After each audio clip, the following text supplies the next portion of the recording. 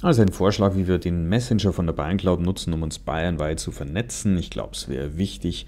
Nur so Beispiel ist die Physik. Wir haben bei 400 Gymnasien 1000 Lehrkräfte, die eine 11. Klasse unterrichtet. Neuer Lehrplan. Also alle machen es zum ersten Mal und jeder für sich und viel zu alleine.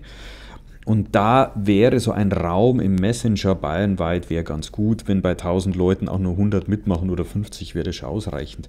Es geht immer um Fragen und um Ideen. Also wer hat eine wer weiß was zu irgendeinem Versuch, wer kennt sich da aus und ich habe was gefunden, ich habe was mit Schülern gemacht, was denen Spaß gemacht hat, Projekt, irgendwas Besonderes. Aber es gibt schon diesen Austausch im Insta-Lehrerzimmer, Twitter-Lehrerzimmer, geht im Blue Sky und so weiter.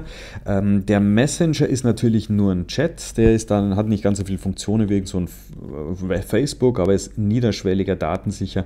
Da würden sich die Leute treffen, die am bayerischen Lehrplan interessiert sind, die da dicht arbeiten. Deswegen sehe ich da eine Chance, obwohl es nur so ein Chat ist und wir könnten den gut mit Mebis vernetzen.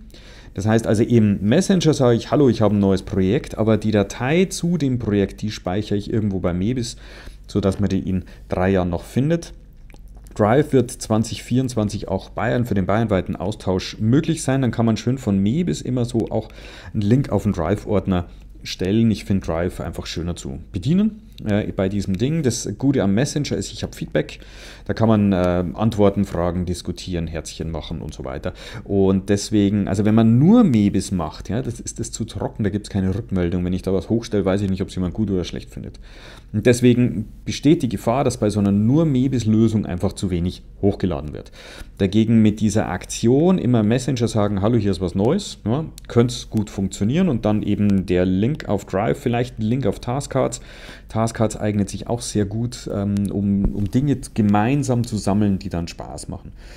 Und wichtig ist diese wertschätzende Kommunikation. Wir, wir nörgeln den ganzen Tag, ja, das ist manchmal ein bisschen gefährlich. Gegenüber Kollegen, wenn man einen Vorzeichenfehler findet, sagt man erstmal, schöne Aufgabe, kleiner Vorzeichenfehler, ja, statt irgendwie, hey, keine Ahnung.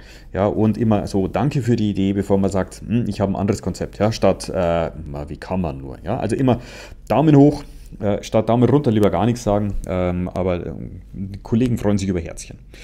So, Spezialteams können sich finden. Also wer zum Beispiel so eine 1 zu 1 Ausstattung mit Tablets hat, halt, stopp, das ist zu weit, hier bin ich. Ja, ähm, und ganz viel frei arbeiten möchte, der, vielleicht gibt es da nur 10 Lehrkräfte in Bayern, die ähnlich arbeiten und die haben aber eine Chance, sich in so einem Chat zu finden. Und äh, die fühlen sich dann nicht so alleine, die können sich austauschen, ausprobieren und so weiter. Also hier Darum geht es, ähm, die Bayern Cloud nutzen, ein bisschen mit Taskcards, äh, damit es leichter wird, mehr Ideen Spaß macht.